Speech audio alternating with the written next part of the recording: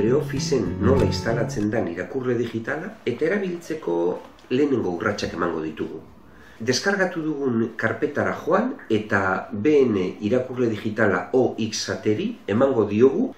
Normalean LibreOfficeena den e, luzapen hori automatikoki detektatzen du eta instalatzen da. Horrela espalitz ikusiko dugu ze urrats eman behar ditugu joango gara LibreOfficeen tresna aldera eta hor ikusten duzuenez e, herramientas deitzen den horretan e, luzapenen e, kudeaketara joango gara. Gestor de extensiones. Eta hor emango diogu e, BNren irakurle digitala instalatu nahi dugula. Instalatzeko ematen diogunean normalean berak detektatu egingo du. Detektatzen espadu, añadir edo gehitu aldean emango diogu. Ze karpetatan daukagun adierazi eta deskargaren barruan BN irakurle digitala OXAT fitxategia instalatzeko emango diogu. Ordenagailuan erabiltzaile bat baino gehiago badago norentzat instalatu nahi dugun galdetuko digu. Kasu honetan erabiltzaile bakarra dagoenez ez digu galdetu gehigarri bat, baino gehiago espadago, osagarri bat bezala agertzen da.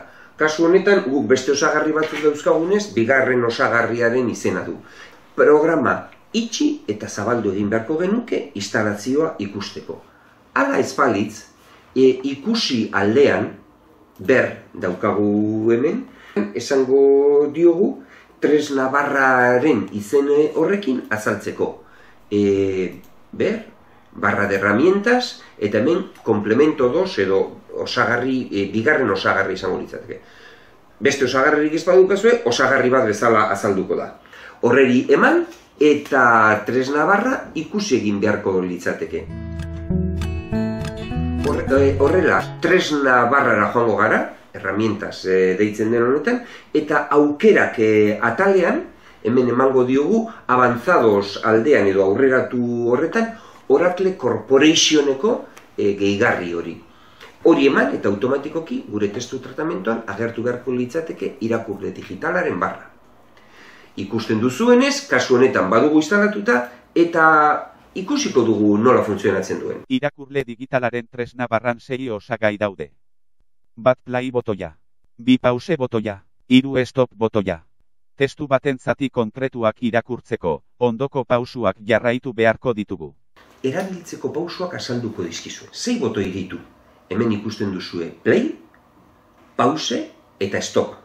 Gero, ze hizkuntza nahi dugune irakurri azaltzen zaigu konbonetan, abiadura harinago edo astiroago irakurri alizateko eta bukaeran esteka bat duzue eluiarren web horrira joateko. Bat, testu prozesadorean irekiko dugu dokumentua zein hizkuntzatan dagoen eta zein abiadura nahi dugun aukeratuko dugu. Testua irekitzen dugunean, irakurle digitalak e, esaldiz esaldi irakurtzeko joera dauka.